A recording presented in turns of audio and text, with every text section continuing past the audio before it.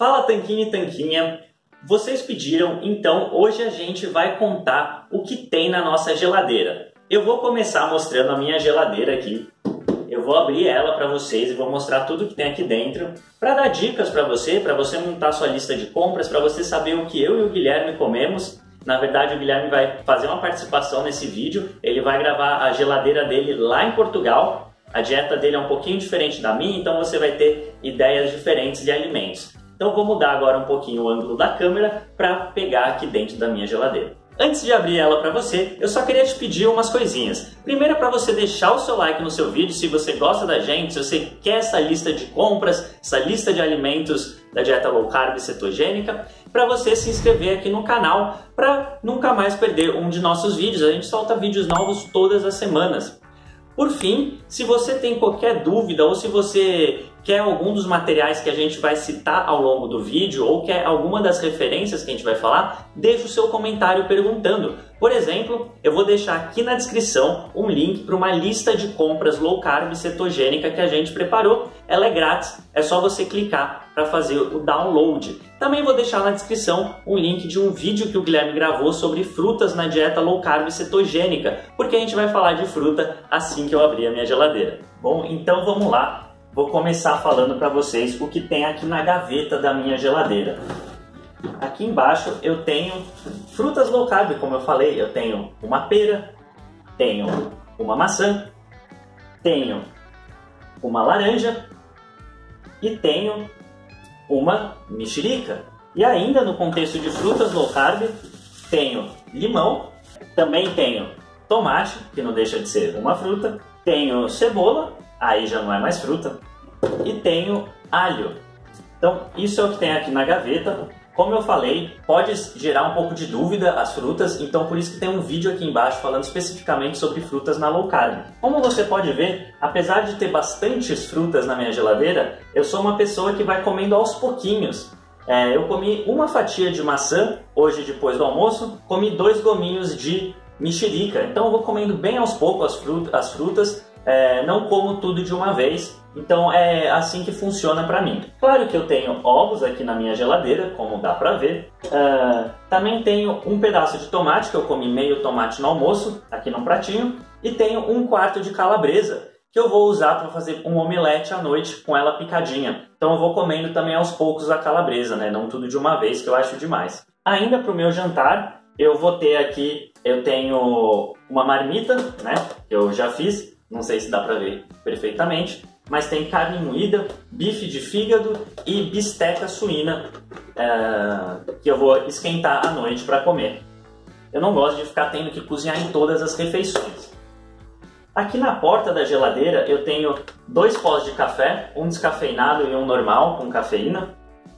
Tenho queijo ralado, tenho azeitonas verdes em conserva, tenho requeijão, Iogurte natural, tá? Pode ser desnatado ou não. O importante é ele só ter dois ingredientes. A gente fala nisso em outro vídeo. É, comenta aqui embaixo se você quiser esse vídeo.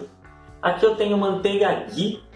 Essa manteiga ghee é lá da Tudo Low Carb, ela é com sal rosa. Aqui eu tenho um energético, eu não costumo consumir energético, esse daqui tá na minha geladeira tem uns mais de dois anos, porque eu prefiro café é muito mais natural o café, é muito mais gostoso. E isso está aqui guardado, nem sei quando que eu vou consumir.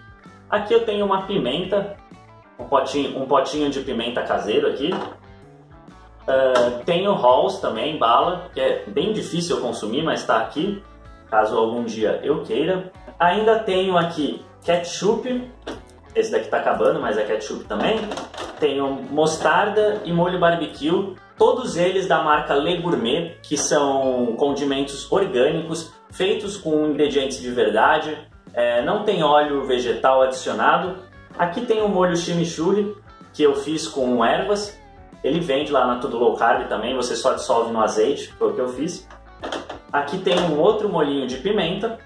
É, ainda aqui na porta eu tenho um vinho que eu adoro vinho, eu tomo um pouquinho por dia. Eu sou, como você percebeu, uma pessoa controlada que vai tomando as coisas de pouquinho em pouquinho. É... Aqui no fundo tem cerveja, é verdade. Eu sei que você já reparou que tem cerveja aqui, mas essa cerveja eu deixo para uma exceção. É, às vezes eu tomo de sábado cerveja, não é sempre. E aqui eu tenho uma água tônica diet sabor gengibre que eu acho bem gostosa. Recomendo que você experimente. E agora vamos para uma parte interessante da gaveta. A minha gaveta de queijos. Aqui eu tenho queijo prato ralado, tenho queijo coalho, que eu frito na frigideira mesmo, não precisa ser só na churrasqueira. Tenho queijo Edam, se não me engano, aqui nesse potinho. Aqui eu tenho queijo reino, que está acabando já. Aqui eu tenho queijo gorgonzola e queijo brie. Aqui tem cream cheese. E aqui atrás tem mais requeijão, esses não estão abertos. Aqui dentro desse pote tem um queijo, tem um queijo provolone aqui dentro, que é um queijo provolone artesanal. Ele tem aqui essa capa preta, inclusive. Ele é muito gostoso. Ele é tem um gosto menos forte que o provolone normal e é meio amanteigada a textura, não é tão dura. Então eu gostei bastante desse daqui. Como você viu, eu sou um apreciador de queijo, porém eu não consumo, eu não consumo muito queijo por dia. Pelo contrário, eu vou consumindo aos pouquinhos.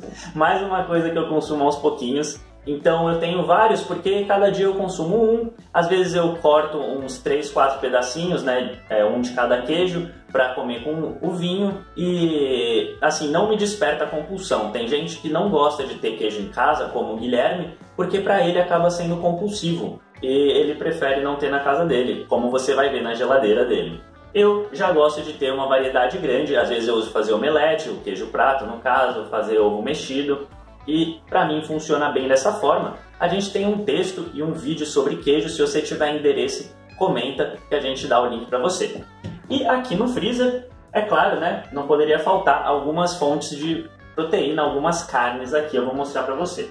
É, aqui eu tenho uma posta de atum congelado, tenho que fazer em breve. E aqui eu tenho algumas carnes, está meio difícil de ver, mas eu vou falar para você o que tem. É, aqui é bisteca suína, aqui e aqui. Aqui eu tenho peito de frango, aqui eu tenho um pote de berinjela congelada. É, aqui tem mais bisteca suína, aqui tem coxa de frango e tem carne moída também. Aqui tem um potinho com salsinha e cebolinha picadas. Então, pessoal, é isso que tem na minha geladeira. Eu vou agora deixar o Guilherme falar o que tem lá na geladeira dele, lá em Portugal. Fala galera, vocês viram a geladeira do Rony vocês sabem que ele faz um monte de receitinha, aqui no canal a gente publica receitas e vídeos informativos e agora eu vou mostrar a minha, para quem quer fazer uma low carb cetogênica bem descomplicada. Na verdade, nesse exato momento eu estou fazendo um desafio de dieta carnívora, então vamos ver o que, que tem na minha geladeira para cumprir esse desafio. Você vai ver que é bem diferente, mas ainda assim é simples e fácil de fazer. Então vamos lá, na minha geladeira você vê que não tem muita coisa, né? Na verdade aqui tem uma dúzia de ovos, ovos normais, igual todo mundo come. Tem aqui um molho de mostarda, que eu nunca mais comi, mas está aberto, vence em 2021, vai ficar por aqui por enquanto. Tem um vinho aberto também, eu gosto muito de vinho, aqui em Portugal, estou morando em Portugal, tem vários vinhos. E tem também é, duas manteigas, uma aberta e uma fechada, que eu uso para cozinhar, para usar na frigideira. E de resto, além disso, tem apenas um saco com as compras que eu acabei de fazer para a semana. Vamos ver o que, que inclui nesse saco. Você vai ver que são alimentos normais do dia a dia e que a dieta carnívora não é cara, porque eu guardei a notinha para mostrar para você. Então aqui tem um quilo de fígado, é fígado de boi, você pode gostar de consumir, pode não gostar também, mas eu gosto e acho muito nutritivo e também é bem em conta. Temos aqui o costeletão, que é uma carne assim mais grossa de boi e na verdade fica super gostosa na churrasqueira elétrica. Eu sempre faço na churrasqueira elétrica e acho bem saboroso. Tem mais ou menos 1,2 kg aqui. Temos também carne de porco, chama costeleta do cachaça, essa daqui. E é uma carne bem gordurosa e bem saborosa. Fica boa na frigideira e na churrasqueira elétrica. E aqui temos umas febras de porco também, que estão bem laminadas, bem fininhas, ficam boas na frigideira especificamente. Por fim, um quilo de barriga de porco. Essa daí eu acho muito saborosa tanto na frigideira quanto na churrasqueira elétrica. E aí uma coisa que eu faço em ambos os casos é que eu deixo cozinhando um pouco, né? Deixo fazendo um pouco. Depois eu corto essa gordurinha, tiro a carne que vai estar tá cozida já e pronta e já como. E deixo a gordurinha depois meio que pururucando, especialmente na churrasqueira elétrica, funciona e fica super saboroso. Então, você viu que tem aí 5 kg de carne, pode pensar que isso seria uma coisa muito cara de se seguir, né? Mas eu guardei a nota fiscal aqui, é, eu vou depois deixar a foto aqui para vocês, vai aparecer na tela. E você vai ver que no total, para comprar uma dúzia de ovos e mais de 5 kg de carne, eu não paguei nem 25 euros. Então, se eu comer 1 kg de carne por dia e mais 3 ovos, e isso vai durar aí quase 5 dias, sai menos de 5 euros por dia para fazer uma alimentação 100% carnívora. Realmente não é um estilo de vida tão caro, e você pode perceber que no caso eu optei por coisas simples que pode fazer na churrasqueira elétrica ou na frigideira, porque nesse exato momento da minha vida não estou muito afim de cozinhar e não tem problema nenhum. Eu acredito que a praticidade e o que funciona para você é o que tem que ser feito e não necessariamente uma dieta mirabolante que você não consegue seguir. Vou mostrar um pouquinho do freezer agora, que são coisas congeladas e que você pode gostar também. No caso do freezer tem alguns frutos do mar aqui. Aqui tem um filé de merluza, Aqui tem um filé de tintureira, é outro tipo de peixe, mais posta de tintureira, que estava barato. Aqui tem tentáculos de pota, que é um primo do polvo. E aqui tem miolo de mexilhão também. Então é mais ou menos isso. Você pode perceber que eu como bastante carne fresca de porco e de boi e consumo também os frutos do mar, geralmente congelados. E é bacana para quando acaba a comida, enfim, um imprevisto, qualquer coisa assim. É bem fácil de se ter. Eu costumo ter ossos também, que eu vou guardando no freezer e de repente, de vez em quando, eu faço um caldo de ossos. Se você não sabe o que é caldo de ossos, comenta aqui embaixo que a gente tem um vídeo e um texto explicando sobre eles. Mas é mais ou menos isso, você viu como é simples a minha geladeira e vamos voltar pro Rony agora. Bom, espero que você tenha gostado de saber o que tem na minha geladeira e na geladeira do Guilherme, que tenha tido ideias para suas compras na dieta low carb e cetogênica. E se você gostou, então você vai gostar muito do vídeo que está aqui do lado, que é um vídeo que a gente separou especialmente para você. E se ainda não é inscrito no nosso canal, se inscreva no tanquinho que está aparecendo ali no canto da tela. A gente se vê num próximo vídeo. Um forte abraço do Sr. Tanquinho.